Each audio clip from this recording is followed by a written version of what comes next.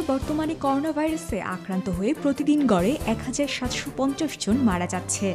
দেশটিতে এখন পর্যন্ত আক্রান্তের সংখ্যা বারো লাখের ওপরে। মারা গেছে সত্তর হাজারের বেশি। এ অবস্থার মধ্যেই লকডাউন শিথিল করে পুনরায় অর্থনীতি চালু করার ঘোষণা দিয়েছেন মার্কিন প্রেসিডেন্ট ডোনাল্ড ট্রাম্প।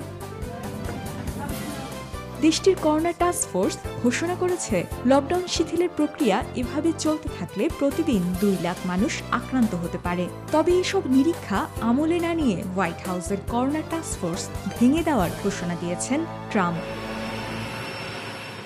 মঙ্গলবার অ্যারিজোনার একটি মাস্ক উৎপাদন কারখানা পরিদর্শনের সময় ট্রাম্প বলেন টাস্ক ফোর্স যথাযথ কাজ করলেও যুক্তরাষ্ট্র এখন ভিন্ন পথেই হাঁটবে। দেশটির অর্থনীতিকে পুনরায় সচল করতে নতুন একটি দল গঠনেরও ইঙ্গিত দেন তিনি। মাইক পেন্স ও টাস্ক ফোর্স অনেক ভালো কাজ করছে কিন্তু আমরা এখন ভিন্নভাবে এগোতে চাই আর এই কাজের জন্য আরেকটি দল গঠন করা হতে পারে।